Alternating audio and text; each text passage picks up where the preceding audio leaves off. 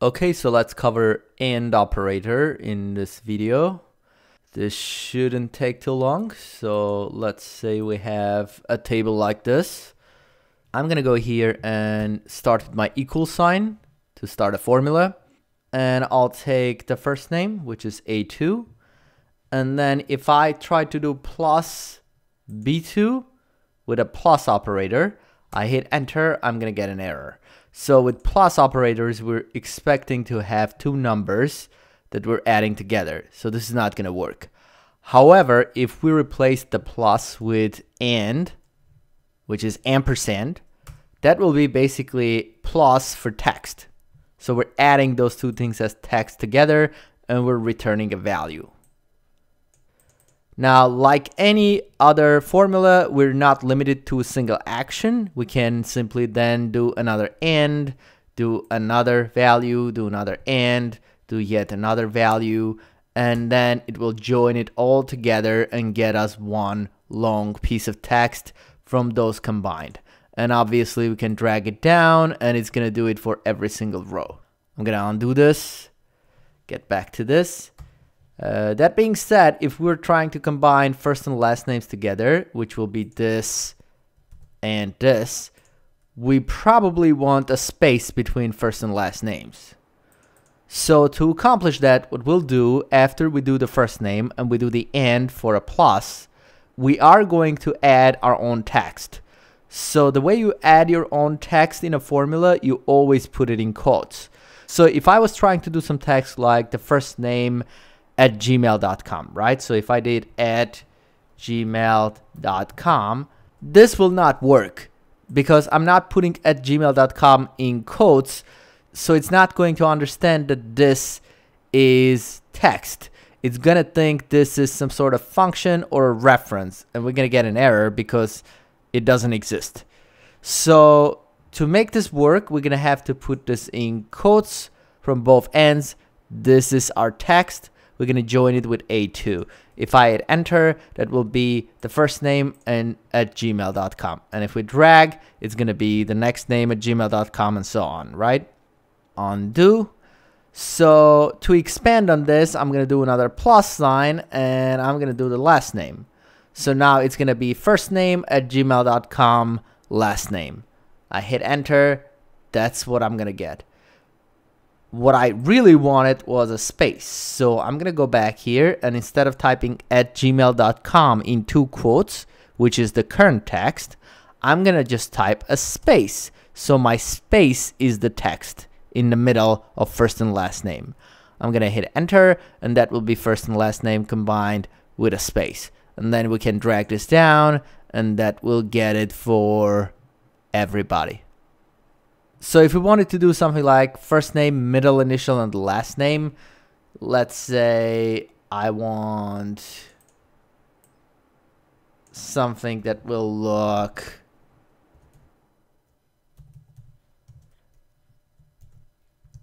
like this.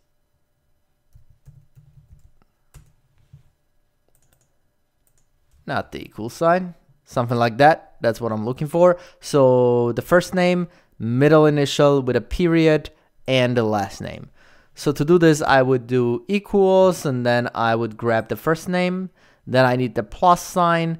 After the first name, we're looking for a space. So quote space quote for the space.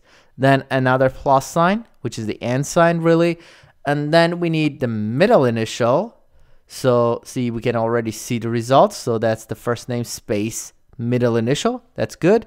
Plus after the middle initial, what I wanted was a period and a space. So in quotes, I'm going to do period space. So that's going to add the period and space after middle initial. And then finally, we'll do another and sign and we'll do the last name. I hit enter and that's our first name, middle initial, last name. And we can drag this down and we get it for everybody. Now I'm going to quickly remove these formulas and replace it with just text. So if I copy this, Command C, I'm going to right click and paste special and see there is this option paste values only. if I do that, what that does, it removes the formula. So now it looks as if somebody just typed all of these in here in the cells. And the reason I did this, I want to show you how to go back from this to multiple columns. So let's say we have the opposite problem. We have first names, middle initial, and last names, but we want one column each. So we can simply just highlight those names, go under data, and under data, we're gonna have this option, split text to columns. If I click on that, this thing is gonna show up. It's gonna say detect automatically. So sometimes it does fine to detect automatically, but we're just gonna choose it on. So we need to separate these first, middle initial, and last name by using the space. So I'm gonna go here and do space. That looks good. And now we have them separated in three columns. So that would be how to go the other way around to split these things into multiple columns. I'm gonna delete those. And finally, let's use our AND operator together with a function to see how it works.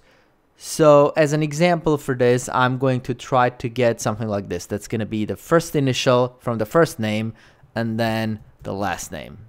Something like that.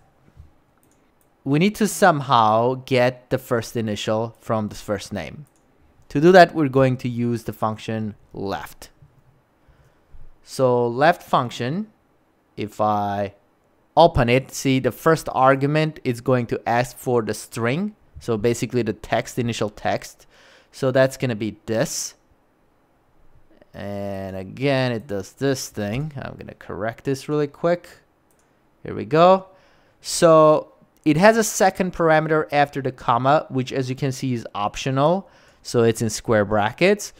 It will allow you to choose how many characters you want from the left. So if I do three, close parentheses, I hit enter, it's to give me first three characters from that text. And if I drag this down, it's to give me first three characters from each one of those. Now, if you skip that argument, by default, that number of characters is 1. So if I simply just say left A2, it will simply get me the first character of that text.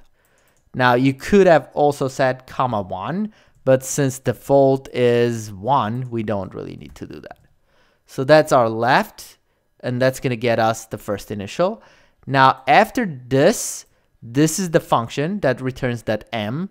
I'm going to do that and sign to add, and then I'm going to do period and a space in quotes, and then I'm going to do another and sign to do another plus, and then the last name. And then we can drag this down to get the first initial with a period and the last name. And that's a few common text operations. Thanks for watching. Please subscribe and I'll see you in the next video.